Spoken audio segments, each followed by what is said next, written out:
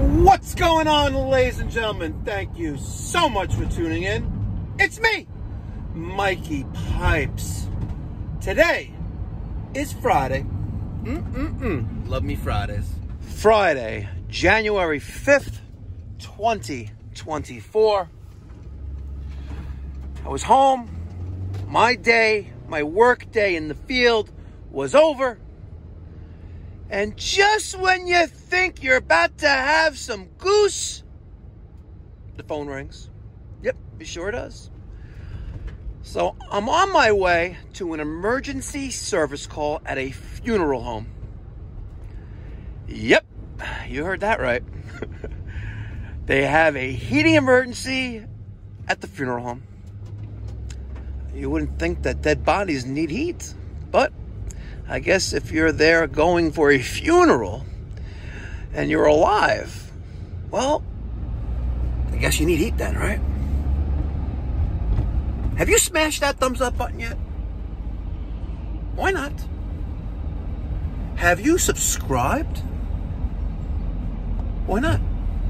Do you know that unless you hit that subscribe button right below this video you're watching, you're going to miss out. You're going to miss out. Because I have a mission. And it's a two part mission. The first objective is to learn something new every day. And if I can learn something new every day, so could you. The second part of that mission is to make the trades great again. I firmly believe that. The younger generation that's still in school, grade school, high school, even in college. There is awesome opportunities for the youth who are mechanically inclined to learn a trade and could possibly make boatloads of cash. And you know I'm right. The ones in the trade. Not the ones sitting in their parents' basement in their underoos, eating Fritos, and drinking Poland Spring water. Not those guys, no. Let's go to this service call. And when you smash that thumbs up button and the subscribe button, hit that notification bell to get post notifications. If you want some stickers like these, email me, mike at mikeypipes.com. Let's get going!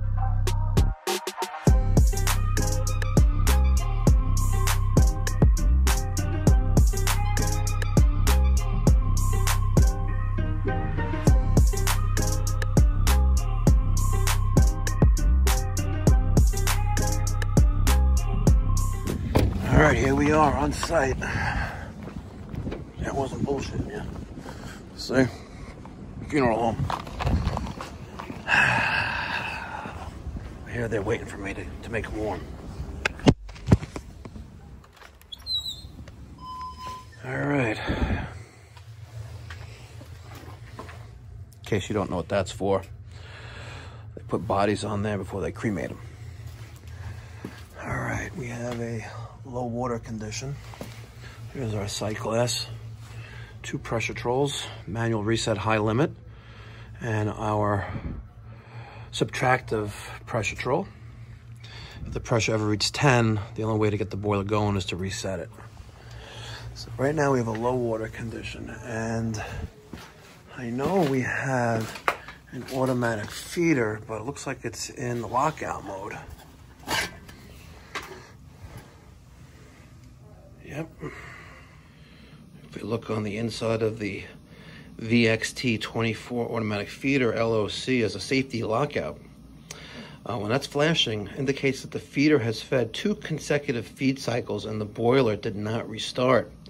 To reset the feeder, remove power to the heating system, but also we should troubleshoot why there's a lack of water here. Hmm. So here's that crown gas-fired boiler. Um, if you look on top of it, we have, and it's improperly installed, as you can tell, because there's the old one. Because you know that's what hacks do. You know they don't install things the right way.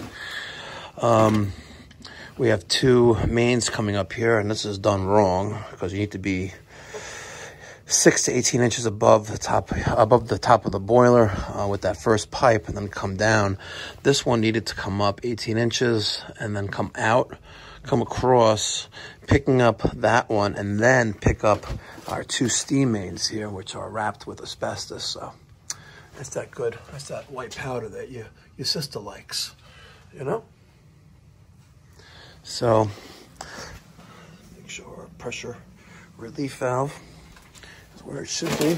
All right, so we did a tune-up. DNF. Was that Frankie? All right. Let's power cycle the boiler. Okay, it's going to restart. What's interesting here is that I uh, wow, 294 gallons. That's a lot.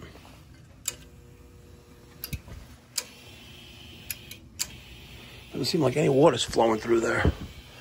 Bet we got a clog. I'm willing to wager this. We got a clog here. Oh, look at that. Someone got a little creative there. Someone trying to add water? Yep. Maybe time for a new feeder. And I already know what some of you are saying. Like, Mike. Pipes, you should take the screen out. You're right. Let's do that. All right, so using a small adjustable wrench, I am going to remove the screen. That's right in back of the automatic feeder. Now, this wasn't loose. I loosened it up off camera. See? And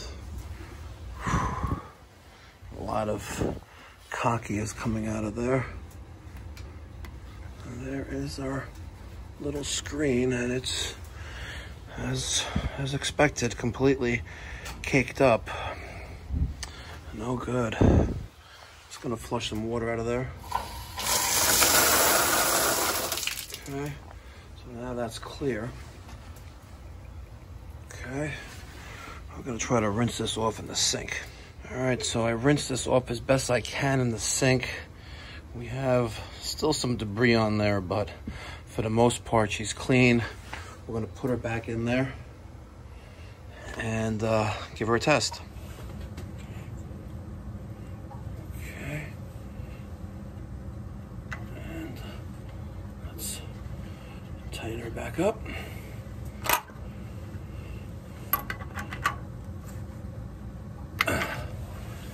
All right, let's see. I'm gonna add some water.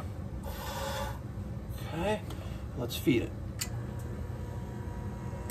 Okay. Still not passing water. Shot horrible water in the neighborhood. Now, this is to get me in trouble. But at the end of the day, we are going to have a satisfied customer with heat for the weekend. Here's our drain valve off our water heater. I have a hose here with a flow check. See that flow check right here? And that's feeding our boiler to our boiler drain. So when we need to add water, hopefully it's not anytime soon, but if the homeowner, the business owner needs to add water, they're going to open up this valve, then open up this valve with a screwdriver, and add water until she is right where she needs to be. We're going to replace this automatic feeder, and when we do it, we're going to add a bypass so we can add water. All right, uh, do not do this at home. This is only so the people who are paying their last final respects to the deceased this weekend, at least they'll have some heat. All right. Who gets, who gets the diagnosis? Who's the boss? Oh, she is. is it on? Well, yeah, I'm not up to that yet, but uh, we can, yes. You can give me a uh, piece of plastic and I'll uh, get paid accordingly. Um, let me uh, Okay. let me tell you what happened. Yeah. And what I did, if you a few moments, Yeah. I'll tell you what happened, Uh-huh. why it happened, what I did, and what we need to do, and what you'll need to do in the interim. Okay. You with me? Okay. The boiler, the- steam boiler, the main boiler for the, the building, was off because there wasn't enough water in the boiler. Now, normally, you have what we call an automatic water feed that uh, gets a signal when there's a low water condition and it turns itself on and it feeds the boiler. Exactly. However, when I got here, the boiler was in low water condition and the automatic feeder was in lockout mode. Oh. Okay. Why was it in lockout mode? Because it has an internal feature that if it tries to fill itself more than two times, it's going to stop. Because if it overfills, you can have property damage. You can overfill Right. the system and blah blah blah, and Yeah. that's not good. So it locked itself out. So the reason why it wasn't wasn't getting any water, or the reason why It locked it locked itself out, is because it wasn't getting any water. Mm-hmm. It wasn't getting any water because an internal screen to save the, the automatic feeder from you know debris and iron and rust, all that nasty stuff that's in our beautiful water, was clogged. Oh. I removed the screen Yeah. and it was clogged, and I brought it to the sink upstairs. I washed it as best I could, Yeah. and I put it back in, and it's still doing the same thing. It wasn't passing any water.